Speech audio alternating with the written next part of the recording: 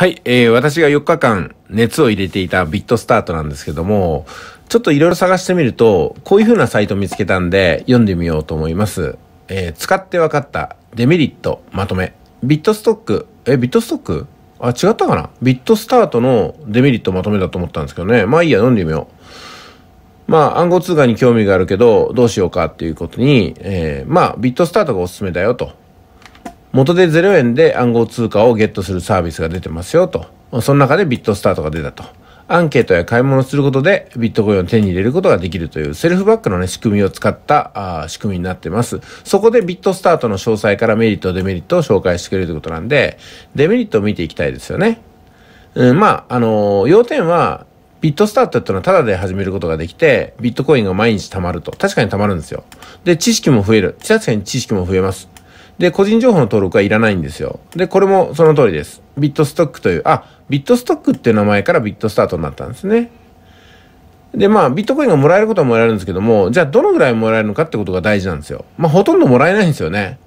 うん。だから10円とか20円の単位でやるのがあってもいいんですけども、それしかないっていうのは困っちゃうんですよ。それしかないっていうのはね。はい。で、アンケートも私何件か答えました。あ、確かに1分ぐらいで答えられたんですけども、1分で10円ってことは、うん、60分で1時間でね、600円。時給600円なわけですよ。しかも、それほどまでに細かくアンケートがあるわけではありませんので、ちょっとまあできないかなっていうのですね。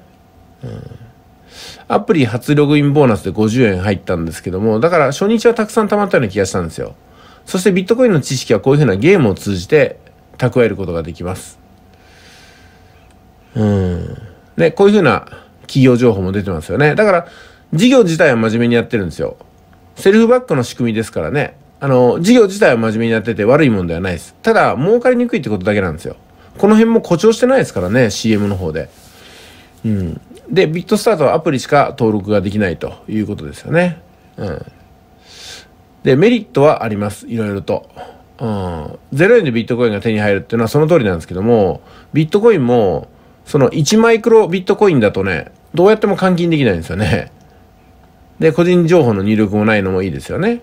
で、メリット3、メリット4も、確かにその通りです。中には4000相当のビットコインがもらえる案件もあると言いますけども、これは別のポイントサイトだともっと割がいいわけなんですよ。うん、一緒にたくさんの案件をこなせば1万円相当のビットコイン、その通りなんですけども、うん、課税のことを考えるとね、1万円相当は5000円相当なわけですよね。じゃあデメリットを見てみましょうか。で、最低、えー、払い出し金が1.5マイクロ BTC ですよね。これマイクロっていうものかどうかわかりませんけども、えっ、ー、と、1000円ぐらいにならないとキャッシュアウトできないと。で、私が今300円なんで、1000円稼ぐのに、まあ、1ヶ月ぐらいかかっちゃうんじゃないかなと思うんですよね。ちょっと、アウトですね、これはね。で、サービスの継続性なんですけど、これは問題ないんじゃないですか？うん。一番気をつけてほしいのはログインと。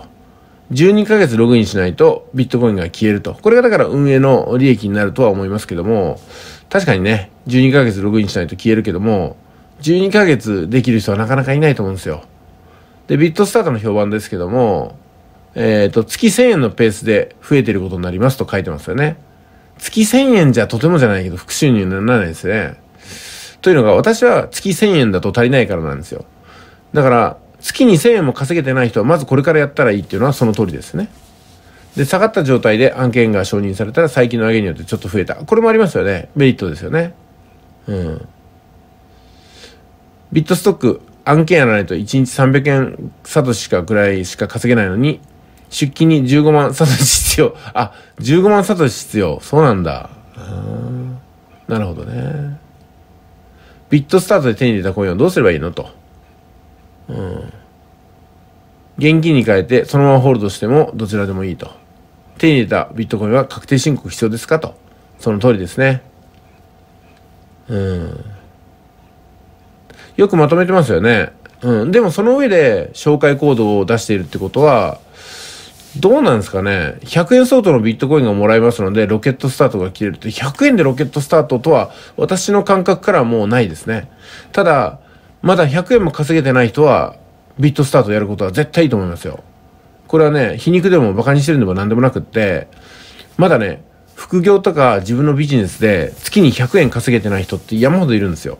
で、そういう方に限って、1万円とか2万円単位で稼げるのを探してて、ずっと何もなくって、簡単に稼ぎますよっていうのにね、10万、20万払ったりするんですよ。だそういうことを考えたら、まずは100円でも200円でも稼いだぞっていう経験をするのは絶対必須なんでね。これビットスタートやればいいんじゃないかなと思います。今回ビットスタート私は紹介しませんけども、ただね、やることは止めませんので、むしろ稼げてない人はおすすめです。紹介コードこれ、どなたのかわかりませんけども、このブログを書いた人のだと思うんですよ。ぜひね、ビットスタートされてみてはいいんじゃないでしょうか。まあ私はちょっとやらないんですけどね。えー、ただ、このビットスタートでいろんなきっかけをつかむ方もいると思います。それは正直に私も受け負います。それでは失礼します。ありがとう。